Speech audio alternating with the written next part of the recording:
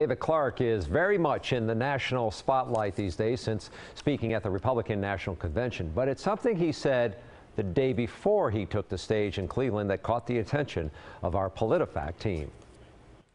There is no data, and you know this, there is no data, there is no research that proves any of that nonsense. Milwaukee County Sheriff David Clarke engaged in a testy interview with CNN's Don Lemon about police shootings and race relations the same day six officers were shot in Baton Rouge, Louisiana. The president has been officer. lying about it. He said it again the other day when he said black males are two times more likely to be shot by a law enforcement officer than white males. Don, that is a lie. Our PolitiFact team looked into Clarke's claim in two parts. First, the president's statement. The president had spoken about uh, the number of black people versus white people shot by police.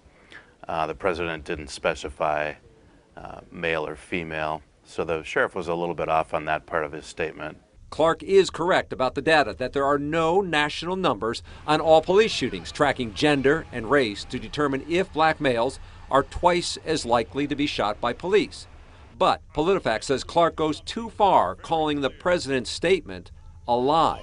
There is an indication, if you look strictly at fatal shootings by police, black people are more than twice as likely as white people to be fatally shot by an officer. For that, Clarke's statement is rated mostly false.